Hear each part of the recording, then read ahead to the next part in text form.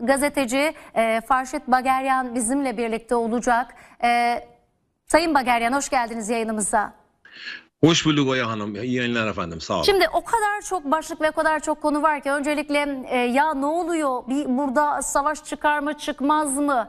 E, buradan 3. Dünya Savaşı patlak verir mi vermez mi? Herkesin kafasında bir sürü soru işareti var. Bölgede sükunet sağlanır mı gibi. Ama ben şunu merak ediyorum. Öncelikle bununla başlamak isterim. Şimdi e, ciddi anlamda İsmail Haniye e, suikasti baktığınız zaman e, a- a- İran için büyük bir prestij kaybı. Öncesinde pek çok suikast de gerçekleşmişti bölgede. Şimdi baktığınız zaman İran'ın cevabı sizce gecikmedi mi ya da bu cevap verilecek mi? Yani e, nasıl bir planlama var İran'da? Biz açıkçası merak ediyoruz. Her gün bugün karşılık verilecek şeklinde bir açıklama yapılıyor ama gün içerisinde bakıyoruz e, sabah kalktığımızda hiçbir şey olmadı. Sadece sözcüklerle ya da sosyal medyada paylaşılan görüntülerle ilerliyoruz. Ne dersiniz? İran karşılık verecek mi? Teşekkür ederim ilk etapta davetiniz için. Bakın bu savaş çanları çaldığı takdirde ve tansiyon yükseldi tak- takdirde dezenformasyon çok gü- güzel işleniyor biliyorsunuz zaten. Dolayısıyla İr- haberleri açtığınız takdirde İran falan e, devlet yetkilisi ve falan devlet mevkisinden böyle bir açıklama geldi. İsrail'e yok edeceğiz vesaire bunu benzer. Peki İran e, kaç senedir bunları söylüyor? Yani bu ilk defa değil ki. Yani bu mesele İran ve daha doğrusu e, İsrail arasında bir savaş zaten cereyan ediyor. Bu senelerce de devam ediyor. Ve varoluşsal bir sorunu yani, neden, yani bir sorunu dönüştü.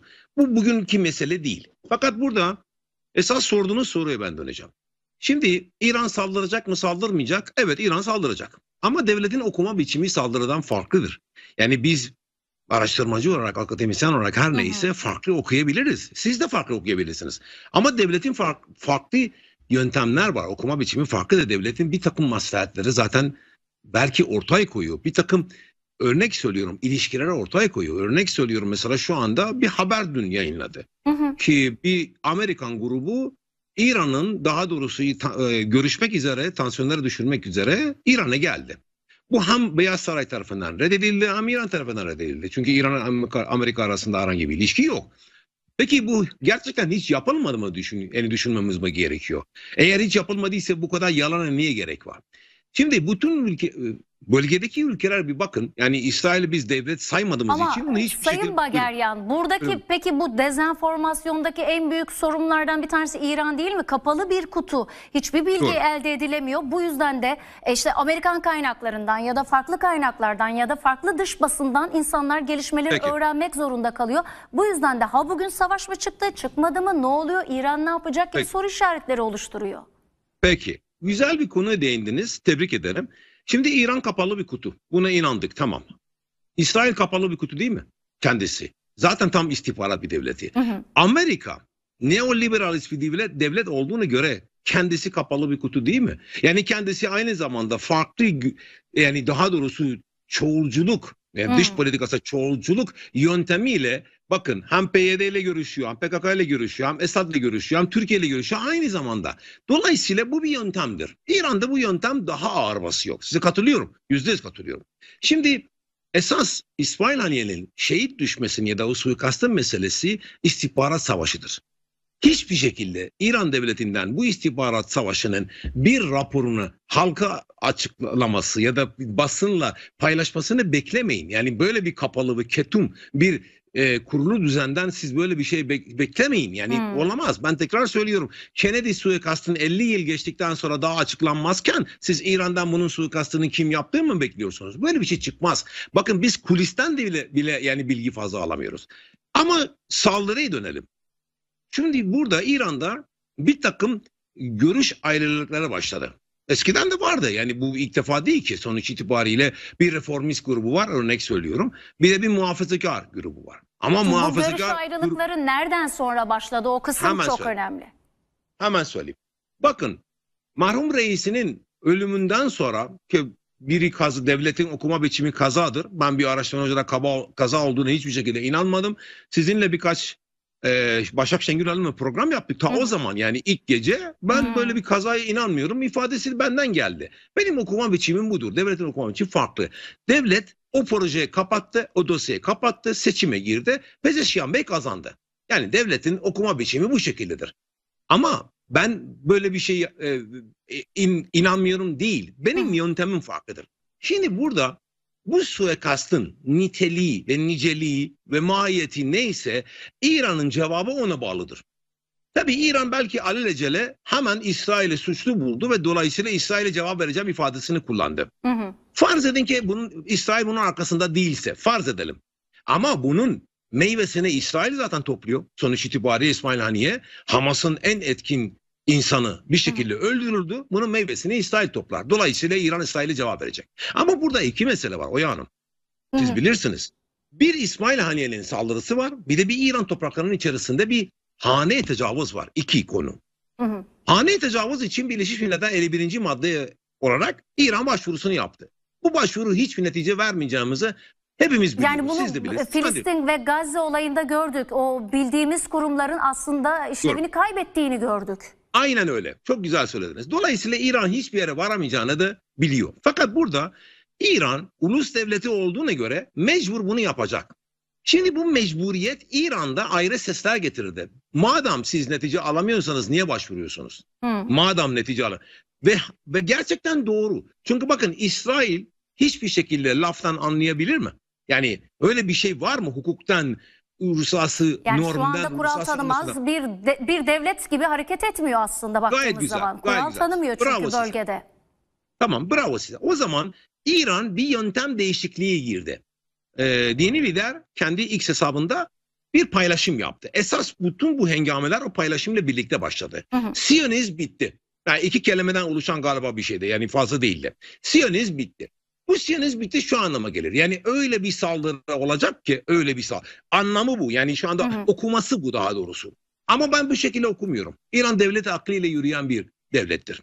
Yani İran bundan sonrası kendine bir varoluşsal bir sorun yaratmaz. Bekasını hiçbir şekilde riske atmaz. Eğer İran bir devletse. Devlet değilse başka bir konu. Peki. O bakımdan buyurun. Siz Pardon sorun, lütfen siz cümlenizi bitirin sonrasında bir Ha. sorum olacak size. Tamam efendim. Dolayısıyla İran'ın saldırı biçimi tekrar söylüyorum. Bu rapora bağlı ve tekrar söylüyorum. Eğer bir misilleme ise suikastle bit- bitmesi gerekiyor. Yani İran aynı şekilde bir suikast düzenlemesi Ha, gerekiyor. siz şöyle Peki bu diyorsunuz yani bu bir savaş değildi. O yüzden ülkenin ülkeye savaş açması değil de bunu istihbarat olarak yine aynı şekilde karşılık vermesi gerekir diyorsunuz. Yani 5. nesil savaş. 5. nesil, nesil savaş aklın savaşıdır. Yani İstihbarat e, savaşları yani. rasyonel savaşı ve aklın savaşı. Dolayısıyla İran yani bu saatten sonra siz 2000 tane füze de atarsınız herhalde bir 50 tanesi düşer. Yani o demir e, geçer düşer. İsrail der ki hiçbir şey olmadı ki hiç kimsenin burnundan kan falan gelmedi ve olay biter. İran der ki ben de yaptım bitti. E, bütün dünya oyalandı diye e, o zaman ifade edebiliriz. Hı. Ama böyle bir şey olmayacak. Bundan sonrası devam edecek. Bakın 12 tane savaş gemisi geldi Amerika'dan. Bir, kaç filo uçak geldi. Peki bunlar boşuna mı geldi yani? Ben İran için geldiğini ifade etmiyorum. Yanlış anlamayın. Hı hı, Ama bu hı bölgeye barış tesisi için gelmedi mi? Bunlar eğer geldiyse e, tesirini bırakacak. Hı, Yani peki. Amerika Buyurun efendim. Peki Sa- Sayın Bageryan şunu da madem Buyurun. tam o konuya geldik hemen o sorumu yönelteyim size. Zira biraz önceki haberlerimizde de verdik zaten. Dedik ki işte Amerika bölgeye e, bilmem kaç tonluk bomba gönderiyor dedik. Ama bir yandan da ilk, ilk ülkelere e, bölgedeki ülkelere itidal çağrısı yapıldığından bahsettik. Şimdi Amerika'nın özellikle bu ikircikli politikalarını biz biliyoruz. E, ama Doğru. şunu merak ediyorum şimdi ben. Bölgede pek çok ülke var. Şimdi biraz önce de MHP lideri Devlet Bahçeli'nin açıklamalarını getirdik. Orada bir e, hemen yanlış söylemek adına bakacağım. Diyor ki Kudüs Paktı kurulmalı. Aslında Sadabat Paktı'na benzer bir durumdan bahsediyoruz. Şimdi Doğru. böyle bir durum orada Orta Doğu'da kurulabilir mi? Zira bakıyorum e, hem Haniye'nin cenazesi olarak düşünürsek hem de ses yükseltme olarak düşünürsek e, Suudi Arabistan'dan Birleşik Amer e, Birleşik Arap Emirlikleri'nden bir ses çıkmıyor. Sizce Kudüs Paktı kurulabilir mi? Yani bölgede böyle bir birlik kurulabilir mi? Hemen söyleyeyim. Güzel bir konuya değindiniz. Bakın 7 Ekim itibariyle dünyada iki farklı görüş ortaya çıktı. İnsan tanımı nedir? Yani Gazze e, oradaki mazlum halkın daha doğrusu soykırıma uyan bir halkın insan tanımı nedir diye bütün dünya ayaklandı. Arap hı. ülkeler hariç. Arap ülkeler hariç tekrar söylüyorum. Bizim bölgemizde sadece Türkiye ve İran belki ayaklandı. Diğer başka bir ülke ben görmüyorum açıkçası. Aynen. Ama Latin, Latin Amerika, Avrupa bir bakın oradan ayaklanma oldu. Şimdi bu bir 7 Ekim meselesi. Bir kırılma noktası. Hı hı. İsmail Haniye'nin şehit düşmesi de başka bir kırılma meselesi var. Yani burada İsrail hiçbir şekilde laftan anlamaz ve İsrail'i sona doğru yaklaştığını ben görüyorum. Bu benim şahsi fikrimdir. Bundan sonrası herkes şu ifadeyi kullanıyor. Artık İsrail'e karşı bir ordu kurulması gerekiyor. Peki bu orduyu kim kurabilir? Başında Türkiye, İran, tekrar söylüyorum. Suriye. Yani bunlar bunlarla birlikte bu ordu kurulması gerekiyor. Pakistan e, keza. Dolayısıyla bu ordu kurulmalı. Çünkü bakın İsrail'den sonra başka bir İsrail çıkmayacağının ifadesini biz verebilir miyiz? Yani böyle bir böyle Hayır. bir garan- garanti var mı? Hayır. Yani tekrar söylüyorum. Amerika her an bakın İsrail Amerika için İsrail ve DAEŞ arasında bir fark yok. Yani bir vekil gücüdür. İsrail bundan sonrası tekrar başka türlü başka türlerle e, kurulabilir. Bunu İngilizler kurdu. Amerika'yı kaptırdılar. Şu anda savaş orada başladı. Amerika Hı. ve İngiliz arasında başladı. Dolayısıyla tekrar olabilir. Şu anda mesele şu. Bu pakt kurulabilir. Bu pakt her ne kadar ordu şeklinde değilse bile Sayın Bahçeli'yi canı gönülden katılıyorum. Bir gö- görev grubu olması gerekiyor. Yani tekrar söylüyorum. Çünkü gücümüze göstermemiz gerekiyor. Madem biz Filistin'in arkasındaysak, biz Filistin arkasında değiliz. Biz insanın kerametinin arkasındayız. Yani tekrar söylüyorum. Burada ne kadar ha- mazlum halk varsa bunun arkasında olmamız gerekiyor. Madem gücümüz varsa, madem biz kendimizi bölgesel güç olarak adlandırıyorsak, belki bölgesel güç ne anlama gelir? Yani dolayısıyla bir araya gelmemiz gerekiyor. Ben Hı hı. tahmin ediyorum bu kırılma noktası bir takım ülkelere bir araya getirebilir. Tahmin ediyorum hatta İran bu şu anda saldırının bir saldırı düzenlenecek İsrail'e karşı. Bunun niteliğine ya da niceliğine hatta bile Türkiye ile paylaşabilir. O bakımdan bu paylaşımlar sonra bize o pakta doğru sürükleyebilir diye düşünüyorum. Size katılıyorum efendim. Buyurun. Peki şimdi e, Sayın Bageryan şunu da sormak istiyorum. Yine haberlerimizin içerisinde vardı. Özellikle İr- İran İsrail'i sosyal medyadan tehdit etti. Ee, Ebabil örneğini gösterdi. Haliyle bu şimdi Evet. bu önemliydi. Mesajı da önemliydi. Orada verdiği Ebabil'le özellikle e, verdiği mesaj bence dünyaya önemliydi.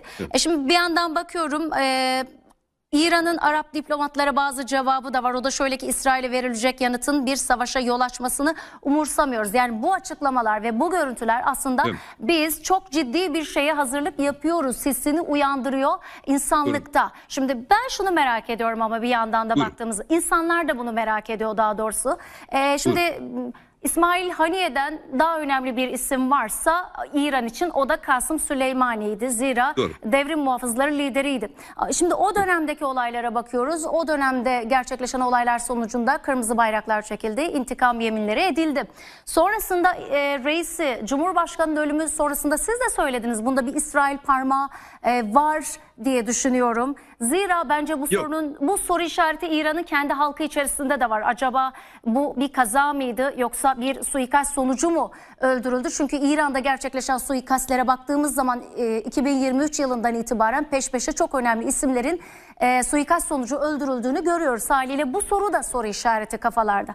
Peki bunlar sonrasında verilen cevaplara bakıyoruz. İsrail'e yeterli mi? Halk nezdinde yeterli değil. E, hatta biliyorsunuz sosyal medyada e, saatler öncesinden biz geliyoruz şeklinde mesajlar verilmişti ve atılan dronlardan pek çoğu da isabet etmedi. Bunu da biliyoruz. Dur. Şimdi bu e, İran gibi bir ülke için bir e, vizyon kaybı değil mi ya da güven kaybı değil mi? O bölgedeki ülkelere verdiği mesaj bakımından da değerlendirdiğiniz zaman e, ne düşünüyorsunuz? Yani bu kadar güçlü Peki. görünen ülke aslında değil mi? Peki hemen arz edeyim. Ee, son sorunuzdan başlayayım müsaade ederseniz. Lütfen. Ee, sağ olun. Fiziki ve daha doğrusu ateşli bir savaş başlamadan bir psikolojik bir harp başladı. İran şu anda bu mesajlarla psikolojik bir harbi zaten başlattı. İsrail de onun karşılığı da zaten veriyor. O da aynı şekilde orada. Biz her türlü saldırıya hazırız diye ifadeler geliyor. Arap ülkelerden de bizim için fark etmez bir e, yani bizim için bir şey değişmez diye ifadesi geldiği zaman siz zannediyorsunuz ki orada hiçbir şey kırmızı alarmı geçmedi mi diyorsunuz. Bunlar psikolojik harptır. Kendi halkını bir şekilde yani sanki bir sükunet var diye bunun yansıtmasını çalışıyorlar. Yani biz yeterince güçlüyüz. Bu devlet hiçbir zaman zavala ermez ve dolayısıyla biz işimiz başın, başındayız. Bir taraftan da özellikle batılı medyaya bir bakın. Özellikle Avrupa Üçüncü Dünya Savaşı başladı diye herkes orada korkuyu sardı. Hı. Hatta belki marketlerde şu anda bir hücum bile başlamış olabilir. bu Üçüncü Dünya Savaşı burada başlamaz. Çünkü Üçüncü Dünya Savaşı'nın başlaması için dünya devletleri, büyüklerin katılması gerekiyor. Yani Çin, Amerika, İngiltere, Almanya, Rusya vesaire. Ama peki şu anda Rusya- olayın içinde değil mi? Özellikle sizce bu Orta Doğu'daki olayın sonucu Çin'e ve oradaki e, e, ticaret yollarına doğru gitmiyor mu? Hemen söyleyeyim. Sonradan Çin'in katılmasıyla birlikte belki olabilir ama Çin şu anda dahil değil. Değil. Esas söylüyorum. Esas Ru- Ru- evet. Bakın mesela Rusya şu anda bu durumdan faydalanıyor. Çünkü bugün bile şu anda ilerleme ile, ilerleyişine yani Ukrayna topraklarının içerisinde ilerleyişini hızlandırdı. Hı hı. O zaten böyle bir kargaşadan faydalanıyor şu anda Rusya. Peki Almanya bu bu savaşa dahil olacak mı sizce? Fransa olacak mı? Fransa zaten bütün vatandaşlarının Rumeli'den terk etmesini istedi. Hı hı. Bunun ama Üçüncü Dünya Savaşı derseniz 5. nesil itibariyle evet size katılıyorum. Şu anca Üçüncü Dünya Savaşı 5. nesil itibariyle başladı. Herkes bu savaşın içinde. Türkiye dahilinde. Herkes bunun içinde. Ama şu anda en etken rol E şimdi ikinci sorunuza döneceğim. Ben aslında İsrail bunun arkasında yani bu suikastın arkasında olduğuna ben hiç düşünmüyorum bile. Yani ben onlara karşıyım zaten. Devletin okuma biçimi bundan ibarettir. Ben İngiltere'nin yaptığını düşünüyorum. MI6'in yaptığını düşünüyorum. Hı hı. Çünkü MI6 bir şekilde bölgeyi karıştırıp bakın Amerika'ya çekebildi. Yani çok kolaylıkla Amerika'ya çekebildi. İsrail şu anda teyakkuzda. Bakın sizde bu haberleri siz veriyorsunuz. Bütün uçuşlar İsrail'e doğru kapandı. Yani Evet. İsrail'in şu anda zaruri bir ihtiyacı olsa uçuş yok. İsrail kendisine bu duruma düşmesi için kendisi mi istedi sizce? Yani bakın Lübnan'a saldırıyor cumartesi günü. Kaç saat sonrası İran'ın kaç kat daha Hizbullah'tan daha büyük bir cephe açıyor. Hı. Böyle bir akıl var mı sizce? Dolayısıyla biri İsrail'e tuzağa çekti. Ama şu anda tam zamanı. Çünkü eğer İsrail tuzağa düştüyse İran bu durumdan faydalanmak istiyor. Türkiye belki bu durumdan faydalanmak istiyor. Hı hı. Yani ama bir şey var, bir şart var. Kimisi bu savaşın bitmesi ve ateşkesin başlamasını Netanyahu'nun tamamıyla yani daha doğrusu şahsiyet terörü itibariyle kapatabilirler dosyayı. Yani yeter ki Netanyahu olmasın biz tekrar her şey sıfırdan başlayabiliriz. Bazı ülkeler bunu düşünebilirler. Ben tabii kim düşündüğüne ifade etmiyorum ama bazı ülkeler bunu yapabilirler. Ya peki bu Netanyahu'nun projesi mi yoksa bu zaten Amerika'nın Orta Doğu'daki projesi ve İsrail'de bunu gerçekleştiriyor mu? Yani baştan Netanyahu giderse bu olaylar biter mi yoksa aynı şekilde devam eder Biter. mi? Biter, biter. Bakın olayın seyri değişiyor. Yani Hı. Netanyahu üzerinde Milosevic gibi düşünün. Yani bütün o soykırımlar Milosevic üzerinde attılar. Şimdi bakın ben bir siyasi bir mizah yapacağım müsaadenizle. Lütfen. Ben bir sonraki bir sonraki suikastın kimin olacağını bilmiyorum ama iki sonraki suikastın Netanyahu'nun da kendisidir. Bu benim bunu bir mizah olarak kabul edin. Şimdi bakın Amerika şu anda bile Netanyahu'nun gitmesini istiyor. Çünkü Amerika şu anda savaşa hazır değil. Her ne kadar 12 tane savaş gemisi burada ise seçimi kaybedecekler. Yani oradaki seçim kargaşaya dönür, dönü- dönüşür. Yani Trump'ı tamamıyla destek çıkaracaklar. O bakımdan Amerika bir an evvel bu görev grubunun geri dönmesi ya da başka yere konu, Hmm. konuşlandırmasını istiyor. Bu Amerika. İran Tabii İran savaş büyük olursa varoluşsal bir sorun, beka meselesi ortaya çıkarsa ne olacak? O zaman hata yapmış olur. Değil mi? İsrail de kendisi eğer bütün vekil güçler bir arada gelip de 22 bin, kilometre kareye 10 bin tane füze atarsa orada insan kalmaz. Yani Hı hı. dolayısıyla dikkat edin bu savaş o büyüklüğünde hiç bölgeye hayır getirmez. Ben bu işin arkasında İsrail olduğunu düşünmüyorum. İsrail'in gücü yetmez, Mossad'ın gücü yetmez. Ee, Bunu daha büyük ve daha güçlü bir istihbarat servisi MI6 gibi yaptı. Hmm. Amerika'yı tuzağa çekti. İsrail'e... Peki Amerika şöyle söyleyeyim. Siz bir 12 tane gemiyle geliyorsunuz ama İran'la görüşme sağlıyorsunuz. Peki bu nereden kaynaklanıyor? Ama madem geldiyseniz o zaman bombardımanınıza başlayın. Ama şimdi Yani zaten e, şöyle değil Evet. midir olaylar? E, ülkeleri masaya oturtabilmek için öncelikle sahada onu korkutmanız ya da bir algı yaratmanız Doğru. gerekir. O Çok yüzden güzel. gemiler gider ki bak böyle bir şekilde seni vurabilirim. Peki. O yüzden masaya gel otur demek değil midir bu Amerika nezdinde? Doğru. Oya Hanım hocalar gibi konuştunuz. Tebrik ederim size. Bakın buna biz coercive diplomasi diyoruz. Yani bir uluslararası ilişkilerde. Hı Bu hı. coercive diplomasi yani ben masadan önce bütün gücümü kullanıyorum ve masada daha doğrusu bu sandalye seviyesini değiştireceğim. Hı hı. Peki bu herkes için geçerli. Yani Amerika için geçerli, İsrail için geçerli ve İran için.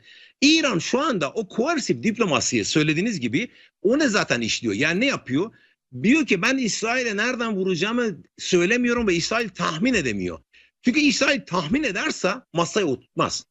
tahmin et- etmemesi gerekiyor. Şimon Peres o çocuk katili daha doğrusu çok güzel bir lafı var. Yani bu literatüre geçti. Diyor ki İsrail'in gücü öyle bir noktaya geldi ki artık İsrail'i tahmin edebilirsiniz. Bakın bu çok önemli bir e, uluslararası Hmm. literatüründe çok önemli bir İsrail'i tah yani İsrail hakkında doğru bilgi sahibi değilsiniz. Sadece tahmin edebilirsiniz. Bu Şimon Peres'in dediği. Hatta 2007'de e, Münih konferansında Başkan Putin bir ifade kullandı. O da Troçki'nin daha doğrusu bir, şi- bir şiirinden, e, bu Silentom şiirinden. İs- diyor ki Rusya'yı siz sadece hissetmeniz gerekiyor. Anlamanız gerekiyor. Rusya'yı ölçmezsiniz diyor. Bu tamamıyla metafiziksel bir konudur. Dolayısıyla Rus şu anda İran'da metafiziksel bir harp başladı. Yani ben nerede vuracağım? Ne zaman vuracağım?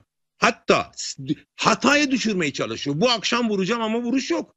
Ha, Hmm. Kimisi der ki İran kap, kağıttan kaplan vesaire vesaire. Olabilir. İran bir psikolojik bir harbe başlattı. Kendisi zaten hı, bir devlet. Devlet okuma biçimi farklı. Ben tahminimce İran eğer savaşa başlatmak istiyorsa sadece Tel Aviv'e vurmaktan ibaret değil. Çünkü orada bir şey elde edemeyiz. Hiçbir şey elde edemeyiz. Hı hı. Ya masa ya Amerika'dan imtiyaz alıp masaya oturmamız gerekiyor. Sizin söylediğiniz gibi çok da güzel ifade ettiniz. Ya da eğer masadan imtiyaz alamıyorsam Hı hı. o zaman ben bu savaşı yayacağım. Nereye? Yapabildiğim kadar yayacağım. Hatta bunu Afrika'ya, Cibuti'ye, Sudan'a, Mal Hı hı. yani e, Eritre'ye oraya kadar çekeceğim. Orada ne kadar İsrail'in askeri üssü varsa çünkü orada demir kubbe yok ki hepsini ben orada te- e, tehdit yapacağım. Ya da suikast yapacağım. İş adamı, din adamı, e, efendime söyleyeyim bilim adamı ne varsa. Dolayısıyla İran bunu deniyor şu anda. Yani psikoloji varla başladı. Sonra masayı deneyecek. Devlet aklı. Bunun devlet aklı zaten Peki. İran'a oluyor. Olmazsa o zaman üçüncü e, şıkkıya geçeceğiz. Dolayısıyla ben şu anda bir üçüncü dünya savaşını bugünlerde beklemiyorum. Yani bu kadar Hı hı. basit değil o mesele. Efendim. Evet efendim. buyurun. Peki şimdi Buyurun. Sayın Bageryan e, şimdi İsrail aslında bu ilk suikastleri gerçekleştirdiğinde ya da bölgeye yönelik işte füzeler fırlattığında belki şunu gözlemliyor. Acaba nasıl bir karşılık göreceğim? Gördüğü karşılığa göre belki bunun şiddetini daha da artırabiliyor ya da Doğru. azaltabiliyor. Şimdi burada bizde bir söz vardır. O söz sizde de var mıdır bilmiyorum. Bana dokunan, bana dokunmayan yılan bin yıl yaşasın. Bin yıl yaşar. Evet. Bence Orta Doğu'da uzun süredir bu atasözü gerçekleşti ve bu yüzden de bir baktık ki İsrail teker teker bütün ülkelere füze yağdırmaya başladı. Ne yaptı? Bölgede Doğru. kendine 5-6 cephe belki de 7 cephe oluşturdu. Şimdi Türkiye bunun farkında. Aileli Türkiye farkında olduğu için e, Filistin-İsrail e, mücadelesinden itibaren sesini yükseltiyor. Bakın bu sadece Filistin meselesi değil. Bu aynı zamanda bölgenin geleceği gö- ya da işte güvenliği için her şey için gerekli. E, şimdi Türkiye bunun farkında ve bu konuda sesini yükseltiyor. Ama ne dersiniz? Yani Orta Doğu'da uyuyan bir dev var ve o dev uyanır mı bu olayla birlikte? Böyle bir e, birlikte hareket etme olursa en azından İsrail kısmında bir çekince ya da Amerika kısmında bir çekince olabilir mi? Yani böyle bir birliktelik olabilir mi artık bu saatten sonra? Çünkü biliyoruz ki Peki. artık bu ateş İran'la sınırlı kalmayacak. Bunu hepimiz çok net gördük. Doğru. Zira İsrail Dışişleri Bakanı Katz'ın Türkiye'ye yönelik yaptığı paylaşımlardan da çok net anlıyoruz ki bu İran'la sınırlı kalacak bir olay değil. Doğrudur. Bakın Oya Hanım hatırlarsanız bu pandemi döneminden itibaren oradaki tedarik zinciri konusu o kadar bir zorluk çıkarttık ki birçoğu ülkede ayaklanma oldu. Hı. Hatta Avrupa ülkelerinde. Sonra ekonomiler bozuldu. Türkiye ekonomisi ve pandemi öncesini bir kıyaslayın. İran fark etmez her yerde. Biz daha pandeminin zararlarını onarmadan 7 Ekim başladı. 7 Evet. Ekim itibariyle dünyanın bir bölgesi yani şu anda bu gerçekten bizim bölgemizde artık bir gemicilik kalmadı. Artık bir tedarik zinciri kalmadı. Her şey pahalandı. Yani ayaklama an meselesi. Bütün ülkelerde kastediyorum. Dün 180 kişi Evet, Sayın Bageryan, beni, beni duyabiliyor mu bilmiyorum ama bir yandan arkadaşlar denesinler. Şöyle bir, evet sanırım tekrar bizimle birlikte Sayın Evet, Bageryan. evet, evet, evet. lütfen devam Evet. edin, sizi dinliyoruz. Sağ olun. Sağ olun. Bakın 7 Ekim sonrası dikkat edin e, bölgedeki ekonomiler durdu. Hı. Gerçekten durdu. Durma noktasına geldi. Şu anda Fransa'daki olimpiyatlara bir bakın. Sanki bir savaş alanı. Yani herkes teyakkuzda. Hı hı. Yani bunlar acaba spor için mi geldiler ya da savaş için belli değil. Dolayısıyla bölge şu anda diken üstünde. Bunun en etken, en etken şu anda rolü kim oynuyor? İsrail ta kendisi. Yani burada artık ben İranlı olduğumu göre bu lafa benden kabul etmeyin. Yani kime sorarsanız bu şekilde size cevap verecek. Hı hı. Dolayısıyla İsrail şu anda bir kanser hücresi idi. Şu anda o kadar yayıldı ve metastaz yaptı. Yani gerçekten Gazze metastazı her yere yayıldı. Şimdi bir, bir, bir kemoterapi olması gerekiyor şu anda. Kemoterapiyi kim yapacak? E bizim gibi, gibi ülkeler yapacaklar. Başka türlü yok ki. Hı hı. Bakın İsrail'in yok olması belki biraz afaki bir, bir arzudur. Afaki bir sözdür. Bu uluslararası ilişkilerde böyle bir literatür yok. Ama yani İsrail'in şu anda gücünün azaltması, saldırganlığını azaltması. Bir çünkü neden? İsrail'in saldırganlığı eğer düşmezse Atlantik saldırganlığı başlıyor. Hı hı. O yani Amerika diyor ki ben bunu tamamıyla destekleyeceğim Hizbullah karşısında. Peki Atlantik saldırganlığı ne yapacaksınız? İsrail'e durdurduk. Onu ne yapacağız? Dolayısıyla Hı hı. burada bu mesele çözülmesi gerekiyor. Ve Amerika inanın Oya Hanım Amerika şu anda her neyse Başkan Biden dersiniz ya bunun arkasındaki güçler dersiniz. Hı hı. Şu anda Netanyahu'yu istemiyorlar. Netanyahu bir görev O zaman başına tam da geldi. şurada şöyle bir soru sorayım size. Hemen bölüyorum Buyurun. sizi ama onunla birleştirerek anlatmanızı isterim. Zira 5 Estağfurullah. Kasım'da Amerika Birleşik Devletleri bir seçime gidecek ve bu seçim belki de dünyanın kaderini değiştirecek bir seçim de olacak. Şunu merak ediyorum. Şimdi e, Amerika'da baktığımız zaman İsrail e, ve e, lobisinin ne kadar yoğun olduğunu biliyoruz. Ve seçimleri etkileyecek bir lobiden bahsediyoruz. Şunu diyebilir miyiz? E, Amerika e, bu seçimi kazanmak adına İsrail'e seçime kadar yani 5 Kasım'a kadar belki de se- sesini çıkaramayacak eli mahkum diyebilir miyiz? Şimdi bakın eğer siz Amerika'yı kişisel bir daha doğrusu yönetim şeklinden düşünüyorsanız bir mesele. Eğer orada yapılanma bir şekilde yönetiyorsa başka Hı. meseledir. O lobi dediğiniz yapılanmadır, kişi değil. Dolayısıyla onlar için kişinin bir önemi yok. Hani Amerika'da nasıl Kennedy suikastı uğruyorsa dört tane başkanı öldürüyorlarsa Hı. demek ki kişi o kadar önemli değil. Bu, ye- bu yapılanma yani bahsettiğiniz yapılanma dikkat edin. Netanyahu orada mesela e, ayak şey ayakta alkışlanıyor. Evet. Örnek söylüyor. Cumhuriyetçiler tarafından. Netanyahu alkışlanmadı. Netanyahu onu kendi üstüne aldı. Sanki alkışlanmış gibi gösterdi. Hı hı. Peki demokratlar niye alkışlamadılar? E, aynı aynı gruplar Yahudi lobisinden beslenmiyorlar mı? Niye onlar salonu terk ettiler? Niye o zaman Amerika içerisinde iki farklı zıt ayrılı Hı. ayrı gruplar oluştu? Burada mesele şu. Bunlar bu cumhuriyetçiler İsrail'e kazandık diye alkışladılar. Yani İngiltere'nin elinden ya da Hmm. globalistlerden ya da neokonunun elinden İsrail'e kaptık diye alkışladılar. Onlar da İsrail'e kaptırmak istemiyorlar. Çünkü İsrail tekrar söylüyorum sadece 22 bin kilometrede topraktan ibaret değil. Bir üstür, askeri üstür orada. Yani orada müşahede diyebilirsiniz. Her neyse Hmm. yani orada devreye. Dolayısıyla burada keşpekeş İngiltere ve Amerika arasında. Bakın Amerika'nın şu anda Pentagon'un bütçesi bu yıl Peki 8 toparlayabilir miyiz Sayın Bageryan son olarak Peki. cümlelerinizi? Hemen söyleyeyim. Bakın ne İran ne bölgedeki bölgedeki ak- devlet aklıyla yürüyen ülkeler Türkiye gibi hiçbir ülke savaş istemiyor. Açıkça söylüyor. Hı hı. Biz hepimiz insan kerametinden yanayız. Bir an evvel şu anda Gazze'deki bu ateşkes bir an evvel yapılsın. Oradaki halkın kendi evine dönsün diye bu birinci ibaret. Hı hı. Şimdi İran kendi meselesine belki bazı imtiyazlar vasıtasıyla Amerika'dan alarak belki bu intikam duygusunu ya da intikam hakkını saklı saklı kalarak ilerleyen zamanlara bırakabilir. İran 3. Dünya Savaşı başlatmaz. Çünkü başlarsa kendi başına da yıkıl, yıkılabilir efendim. Teşekkür Hmm. ederim Oya Hanım. Şimdi bu Peki. son cümleleriniz çok önemliydi. Ee, çok teşekkür ediyoruz. Ben teşekkür Gerçekten ederim. Çok e, hem bölgeyi tanıyan birisi olarak bizimle bu düşüncelerinizi paylaştığınız için zira anlattıklarınız gerçekten çok çok önemliydi. Değerlendireceğiz zaten. Efendim gazeteci Farşit Ba- Bageryan bizimle birlikteydi. Kendisine katkıları için çok teşekkür ediyoruz. Ve şimdi